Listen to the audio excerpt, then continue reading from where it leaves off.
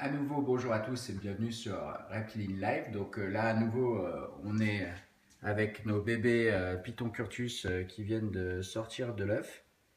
Donc là, maintenant, ça va être la séance de rinçage.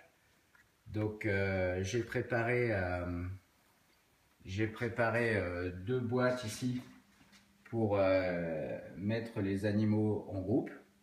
Donc en même temps que, je les rince, en général, euh, j'essaye de les sexer aussi. Comme ça, c'est fait par éversion.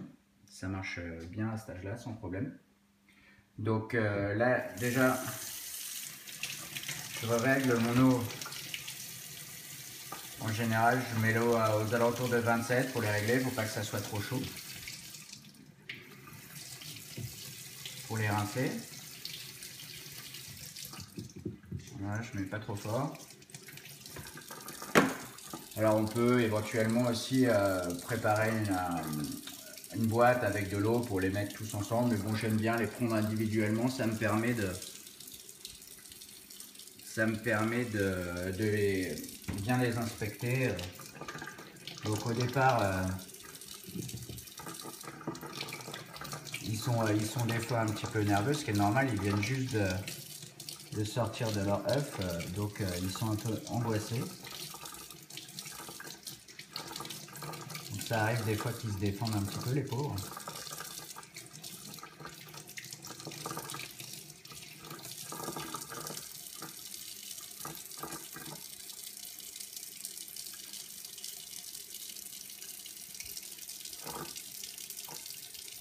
Là c'est un petit mâle. On voit bien les hémipénis qui sortent. Donc on va mettre les mâles à gauche.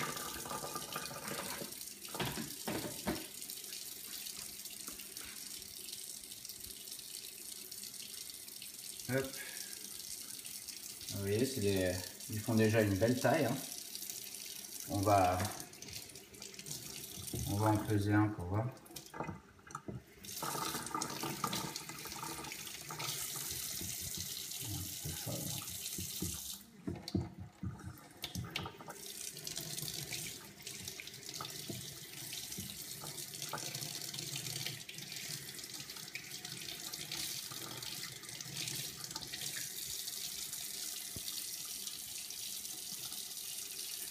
Peut, on peut inspecter euh, qu'il soit bien.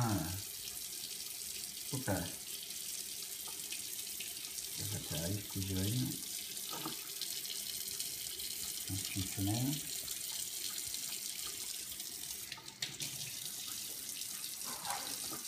Hop.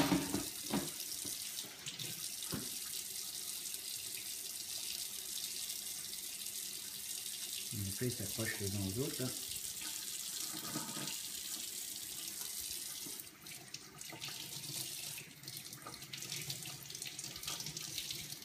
Comme ça, ils sont tous euh, à nouveau euh, bien propres euh, et pas recouverts de ce liquide, qui est vraiment qui a tendance à sécher, à coller et qui, qui peut les, les, déshydrater. parce qu'ils restent avec ce liquide, c'est vraiment, c'est vraiment pas terrible, c'est vraiment bien de les rincer.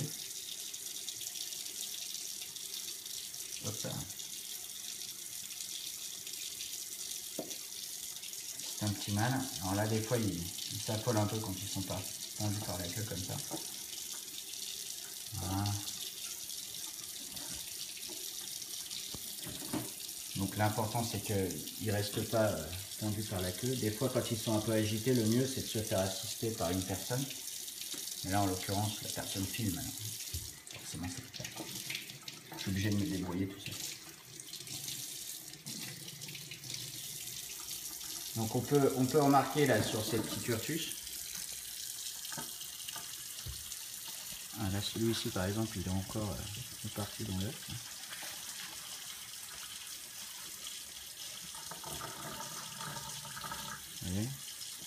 Là je pense pas que ce soit son œuf, en fait il a été dans un œuf. Ah. Celui-là il a chopé son pote, il a eu peur. C'est comme ça, il faut les attraper pour qu'ils arrêtent. Voilà. Quand ils sont petits, ils sont un petit peu nerveux comme ça.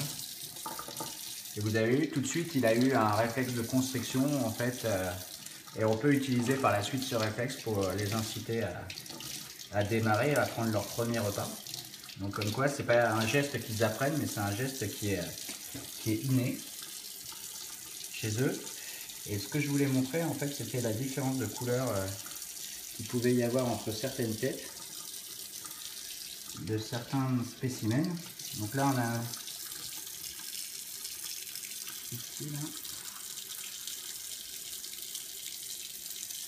un spécimen qui a la tête bien noire.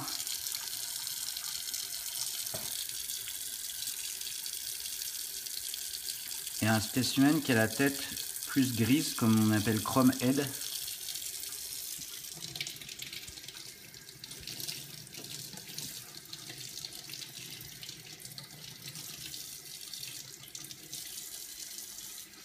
je peux en mettre plusieurs.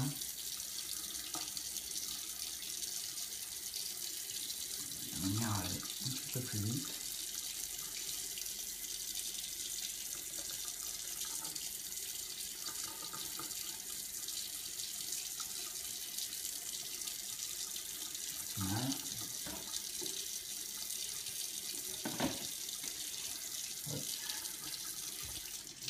vous voyez, ils se calment assez vite.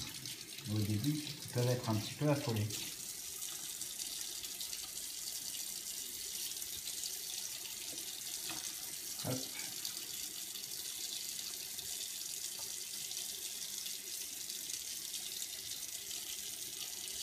Les animaux assez courts, donc c'est pas évident. Hein.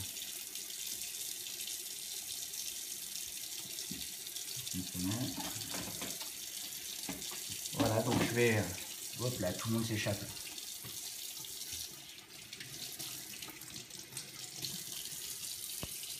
Quand ils sont fraîchement sortis de l'œuf, comme ça, c'est très facile de faire des déversions. Il faut y aller tout doucement. Il y a à peine à pousser, donc ça c'est un petit mal.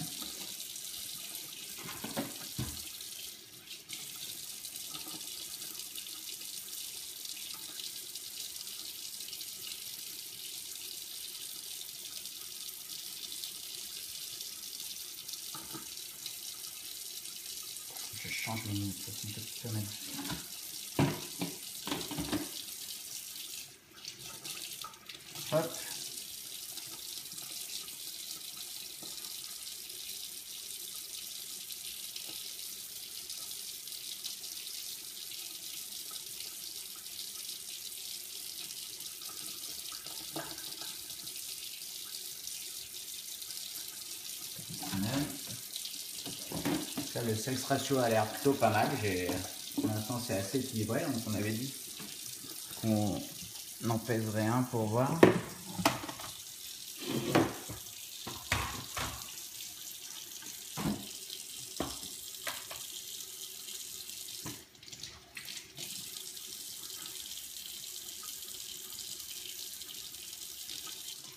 On va en peser un ou deux.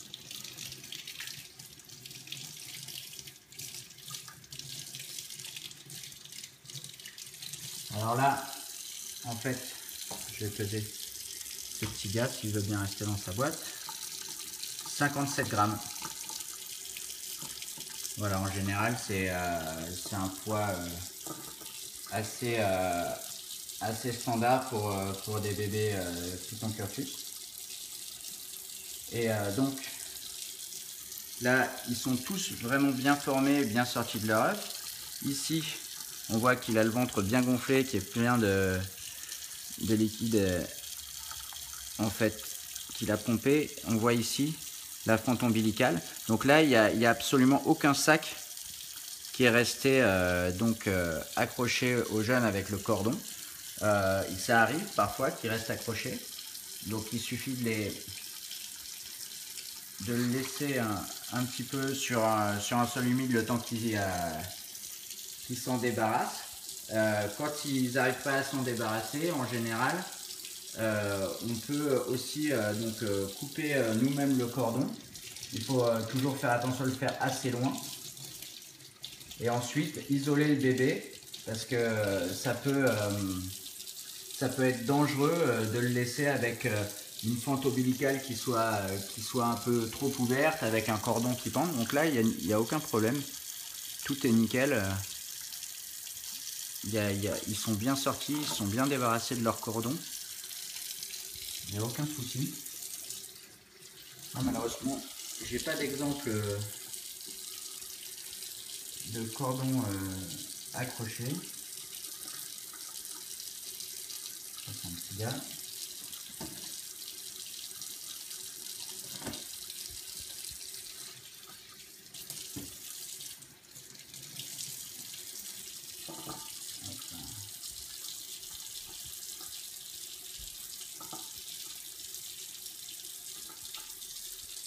Aussi.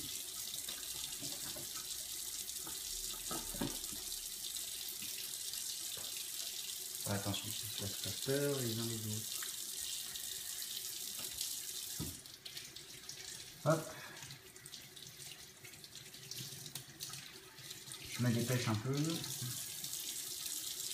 ils sont tous vraiment nickel, aucune déformation. On regarde bien au niveau de la colonne, au niveau de la tête que les mâchoires soient bien, euh, bien refermées, qu'il n'y ait pas de bec de lièvre ou de choses comme ça, qu'il n'y ait pas de, de, petits coups de hache au niveau de la, de la colonne vertébrale, euh, de queue déformée, des choses comme ça. Ce qui peut tout à fait arriver parfois.